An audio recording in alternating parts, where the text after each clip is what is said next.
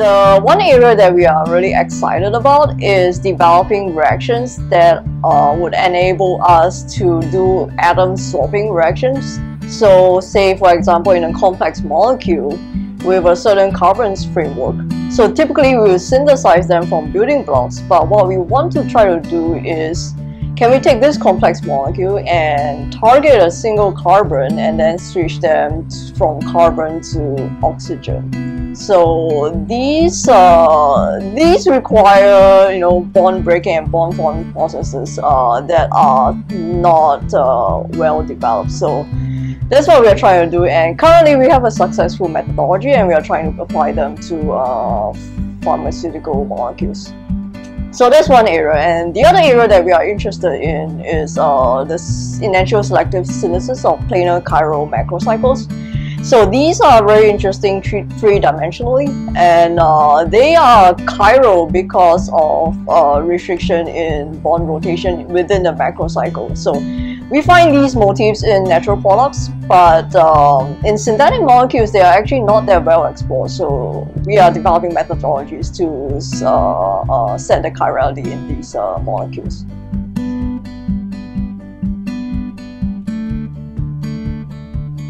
The number one quality that I'm looking for in a grad student is the motivation to learn.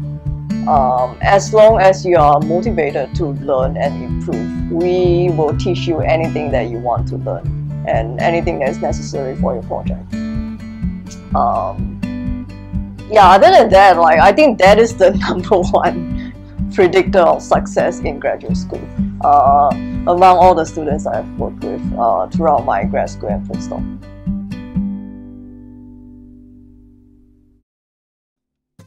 We do introduce students to quite a number of uh, different concepts in organic synthesis. So the from the more traditional multi-step organic synthesis all the way to organometallic chemistry. So doing all the reactions in the glove box, making, making organometallic complexes, as well as uh, concepts in enantioselective catalysis. So all the ways to deal uh, uh and analyze chiral non-racemic molecules. So, uh, so quite a range. Each of our fume hoods are equipped with a Schlenk line and a vacuum pump, so standard Schlenk techniques are what we use on a daily basis. Um, and then for air-free reactions, uh, multiple air-free reactions, we do them in the glove box. So we also make some of our ligands that are air sensitive in the glove box.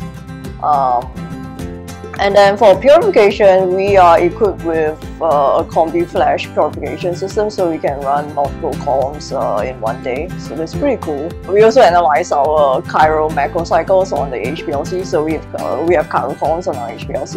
And then we are using a GC. We are setting up a GC and then we have a GC in the chemical instrumentation facility. And a lot of our yields are um, gotten by the NMR in the NMR facility.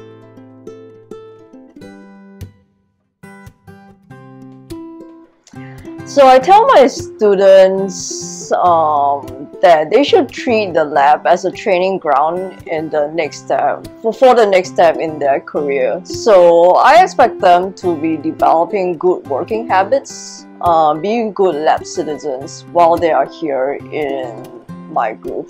So they are expected to deal with issues professionally and if there is some conflict, I do let them know how to how they should be dealing with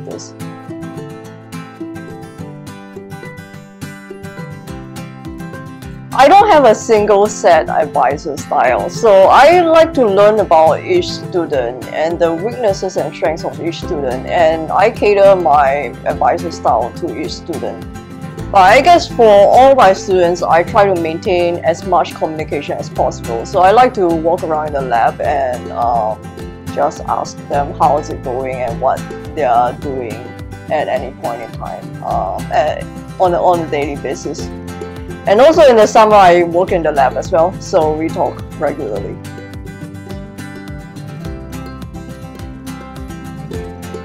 the collegial environment among faculty and students. I think that's the best part.